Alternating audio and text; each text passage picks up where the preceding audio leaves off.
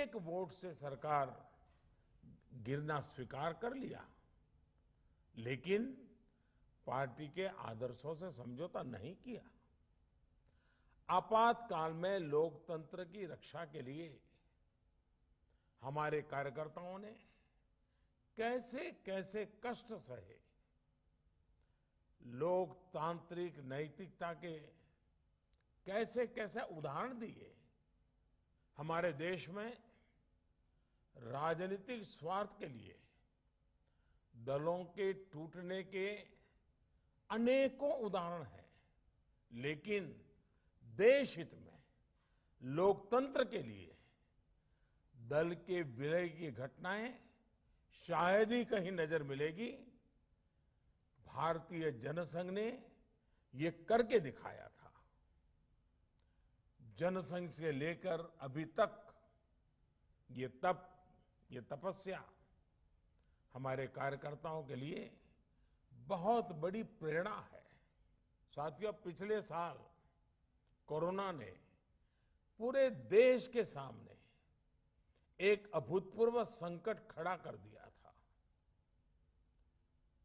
तब आप सब अपना सुख, दुख भूलकर देशवासियों की सेवा में लगे रहे।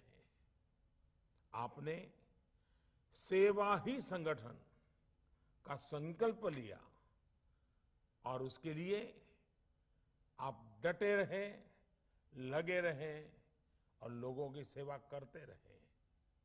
जो काम आप गाँव गाँव में, शहरों में कर रहे थे घर घर पहुँच रहे थे, वैसा ही कुछ काम अंत्योदय की प्रेरणा से भाजपा की सरकार है चाहे केंद्र हो या राज्य हो, अपना दायित्व तो निभाती रही। गरीब कल्याण योजना से लेकर वंदे भारत मिशन तक हमारे सेवा भाव को देश ने महसूस किया है। यही नहीं, इसी संकट काल में देश ने नए भारत का खाका खींचा और आत्मनिर्भर भारत अभियान शुरू किया। आज आत्मनिर्भर भारत अभियान गाँव गरीब का, किसान का, मजदूर का, दलित का, वंचित का, महिलाओं का, युवाओं का, हर किसी का, स्वयं का एक प्रकार से अभियान बन गया है। आज भाजपा से गाँव गरीब का जुड़ाव इसलिए बढ़ रहा है क्योंकि आज वो पहली बार अंत्योदय को साकार होते देख रहा है। 21वीं सदी में जिन युवाओं ने जन्म लिया है, वे आज भारतीय जनता पार्टी के साथ है। भाजपा की नीतियाँ, भाजपा के प्रयासों के साथ है। साथियों गांधी जी कहते थे कि निर्णय और योजनाएँ वो हों जो समाज की आखिरी पंक्ति में खड़े व्यक्ति तक लाभ पहुँचाए। गांधी जी की उसी मूल भावना को चरितार्थ करने के लिए हमने अथक प्रयास किया है। लास्ट माइल डिलीवरी हमारे यहाँ कहा जाता था, लेकिन आज देश का सामान्य मानवी लास्ट माइल डिलीवरी को साक्षात अनुभव कर रहा है। देश के हर गरीब के पास बैंक अकाउंट हो, देश के हर गरीब के पास पक्की छत हो, देश के हर गरीब को शौचालय की सुविधा मिले, हर रसोई में गैस कनेक्शन हो, हर घर में बिजली कनेक्शन हो, हर गरीब को इलाज की सुविधा हो हर गाँव में ऑप्टिकल फाइबर हो। ऐसी अनगिनत बातें जो समाज के आखिरी व्यक्ति हो या देश का आखिरी इलाका हो। इसके लिए भाजपा सरकारें चाहे केंद्र हो, हो या राज्य में हो हम सब मिलकर के दिन रात मेहनत अपने लक्ष्यों को पाकर दिखाया है। और इन निर्णयों को, इन योजनाओं के शुरू करने के पीछे सबसे बड़ी वजह यही है कि हम संगठन में रहते हुए भी ऐसे ही कार्य करते करते करते आगे बढ़ रहे हैं। इसलिए जब सरकार में आते हैं तो और तेज गति से इस दिशा में काम करते हैं। हमारी कार्यशैली है।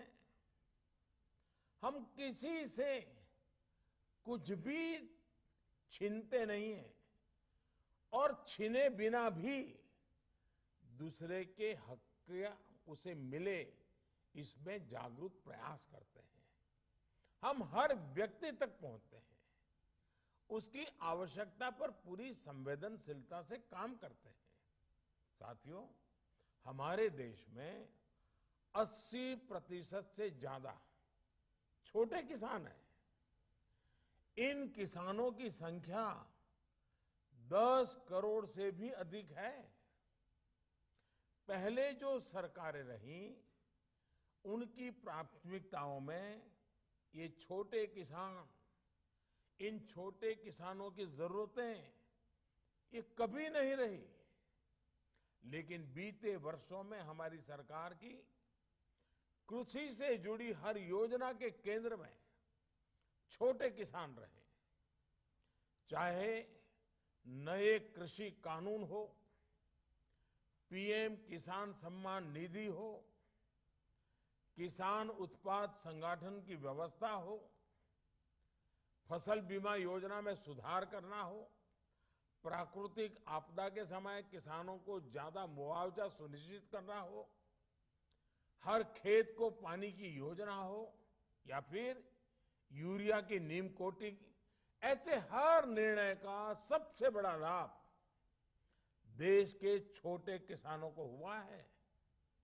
साथियों, बीते वर्षों में हमारी सरकार के हर काम में हर योजना में महिलाओं को प्राथमिकता दी गई है।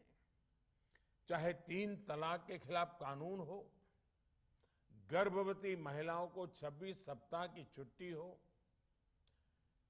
घर की रजिस्ट्री में महिलाओं को प्राथमिकता देने की बात हो, स्वच्छ भारत मिशन हो, उज्ज्वला योजना हो, मुद्रा योजना के तहत बिना गारंटी ऋण देना हो रेहड़ी पटरी वालों के लिए पीएम स्वनिधि योजना हो, सभी का लाभ। प्रमुख रूप से हमारे देश की महिलाओं को, माताओं को, बहनों को मिला है। साथियों, हमारे देश में सरकारों का मूल्यांकन, सरकार की शक्ति का आकलन, सरकार के परफॉर्मेंस की बातें, ज़्यादातर कौन सरकार कितनी बड़ी घोषणा करती रही है?